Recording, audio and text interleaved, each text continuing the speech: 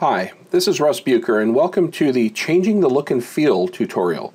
You could change the colors of the different windows and by default it looks like you see here. This is actually uh, the default theme. It's got a gray background, some black, it's got some white text. Now if you don't find that to uh, be very appealing or a little bit hard on the eyes, you can change it. So if you go up to the Tools menu and down to Themes, it brings up the themes window.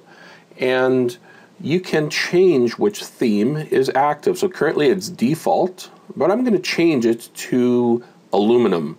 And you'll see that it completely changes how these windows look. You can just cycle through these various ones here and see what they look like.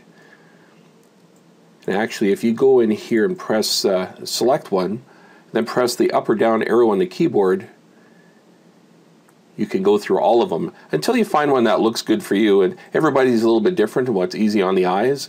Um, I prefer a dark theme. A lot of people uh, prefer the light themes as well, such as uh, Opus. Now, in addition to these themes, you can change the colors within the themes a little bit. So you could change the hue, and you'll notice a difference on in this for things like uh, the progress bars. So if I uh, change the hue a little bit, now it's changed the progress bar to a green. Plus you can change the saturation. You can make it really green or almost just a, a black and white. So feel free to experiment with this. Anytime you change uh, a theme, it will bring the hue and saturation back to default.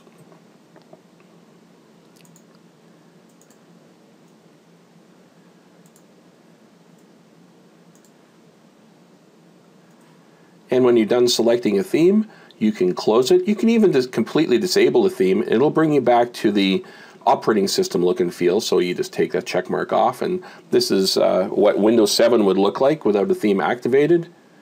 And if you want a theme on, you just hit enabled and it's back. And it'll remember these settings for your themes when you shut down Control My Nikon and then bring it back up later.